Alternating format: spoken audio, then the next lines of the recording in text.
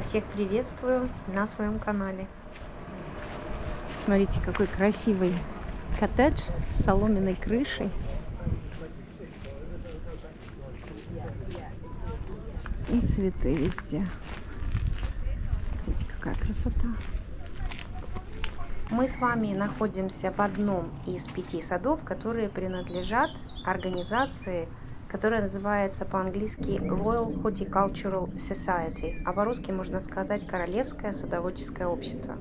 Организация очень известна, вы можете посмотреть в Википедии. Они проводят благотворительную работу, организуют выставки, которые всемирно известны. Мы сегодня с вами немножко пройдемся по этим садам. Выходишь на новую поляну и каждый раз вот это да, вот это да. Везде такая красота. Не устаю удивляться этой красоте. Вот сколько я вижу сады здесь, не перестаю удивляться. Каждый раз у меня большие, широко открытые глаза на все это. Каждый раз восторг. Вот такие вот сады. Смотрите. Вот куда ни посмотри, Везде прямо произведение искусства. Опять же, тут не все еще цветет. Тут еще зацветет многое. Смотрите, пионы. У меня в саду тоже пионы. И точно вот такие пионы розовенькие. Скоро вам покажу. Но они у меня сидят в тенечке. А тут, видите, на солнышке и уже цветут. Смотрите, какие уютные ограждение для всех этих цветов. Им тут уютно. И смотрите, как по центру розы и маленькие секции садов. Красиво.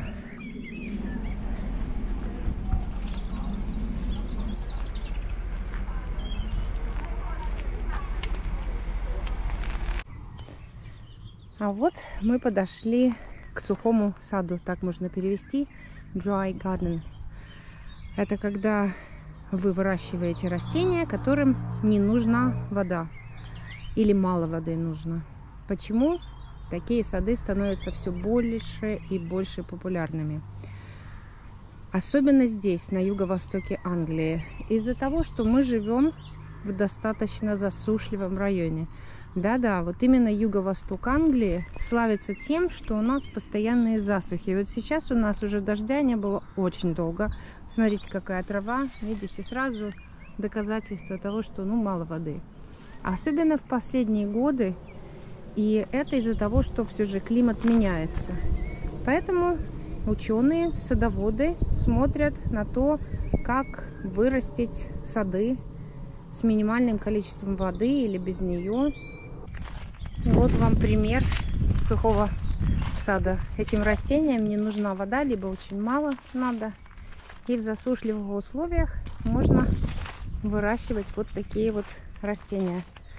Смотрите, много из них очень симпатичных. Сразу и не скажешь, что их не нужно поливать или поливать нужно совсем немножко. Видите, в условиях меняющегося климата, в условиях, когда у нас на юго-востоке Англии будет все меньше и меньше дождей, летом. Вот, возможно, это станет вариантом. Кстати, на табличке там это и было написано, то что, посмотрев на такие сады, вы, возможно, тоже вдохновитесь на создание своего собственного вот такого вот сада. Смотрите, вот чем не растения? Симпатичные ведь, правильно? А вот эти вот метелки какие красивые. Смотрите, какая прелесть лохматенькие-лохматенькие. Вот такие вот сухие сады.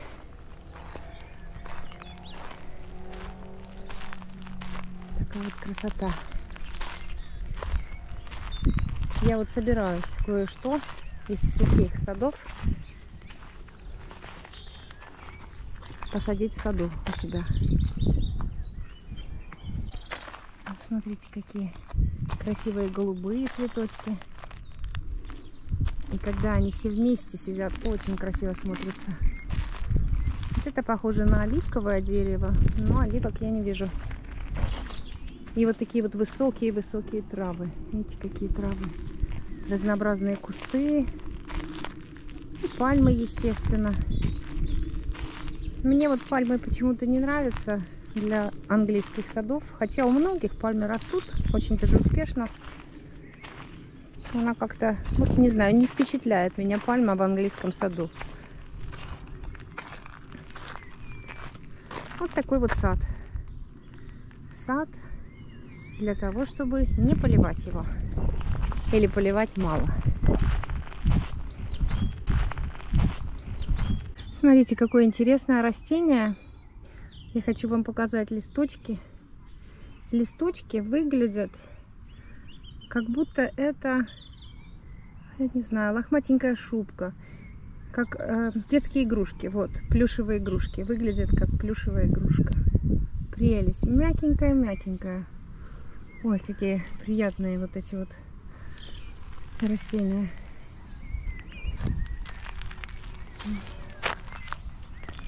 Ну, красота. Вот называется «Век живи, век учись». Увидела такие растения сегодня, которых раньше не видела. Что-то новое, возможно, выучила для себя.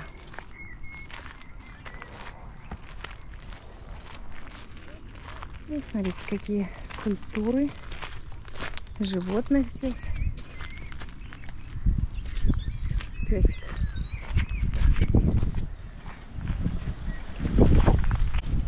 Смотрите, какие лохматые. Давайте понюхаем. Тут очень много пчел. Очень-очень. Смотрите, вот чем не растение для сада. Очень красивое. У меня в саду вот такие вот растут только беленькие около нашего прудика. Но у нас пруд, а, я вам не показывала его еще, потому что нужно его переделывать. Вот как переделаю, так вам покажу. Ну что, пойдемте. Вот еще какие симпатичные кустики. Я думала, я уже весь сухой сад вам показала. Оказывается, нет. Видите, еще одна секция. Еще секция этого сада, которому не нужна вода или нужно совсем немножко. Получается выбор растений, которые вы можете посадить у себя в саду и не поливать или поливать совсем немножко, просто огромный. Я, честно говоря, не знала, что такие вот есть шикарные варианты, как здесь. Вот, так что наряду с такими растениями, которые все же любят воду каждый день, можно создать вот такой вот уголок и не заботиться о поливе. А нам надо ехать домой и поливать наш сад, потому что у нас в основном такие растут растения, которые нужно поливать. Иначе погибнут. Смотрите, еще продолжение вот этого сухого сада. Смотрите, какая тут композиция. Ну, просто глаз не оторвать. Посмотрите, какая красота. Вместе с камнями, с большими, с валунами. Вот такие вот большие горы маленьких цветочков. Очень красиво смотрится. И хочу вам показать малюсенькое растение, очень невзрачное, издали. Выглядит как сделанное из металла. Видите, какой у него металлический отблеск такой. Какое тверденькое. В общем, красивые сады. Что тут сказать? Выглядит так, как будто все разбросано, как будто природа это все разбросала. На самом деле тяжелый людской труд. Все посажено и за всем присмотрено. Вот, но поливать здесь сильно не надо это. Сорняки, наверное, здесь тоже не очень растут из-за того, что это место мало поливают. Но мы уже пошли на выход. Я с вами прощаюсь. Всего самого хорошего. До новых встреч и пока-пока.